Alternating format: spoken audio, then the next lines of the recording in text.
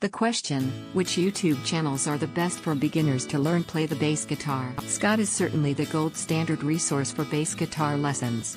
Very established and definitely a place to go at least to start. You might want to also check out some of these other resources on Search True. Fire bass into and you'll get some videos with in-house teachers as well as Billy Sheehan and Stu Hamm. Their videos are good for beginners as well. I'd rank them close behind Scott. Creative. Bass. Lessons is another source that comes up first page on. Certainly another one to check out. A Google search for Nathan East and Chris Terry yields some pretty good resources as well.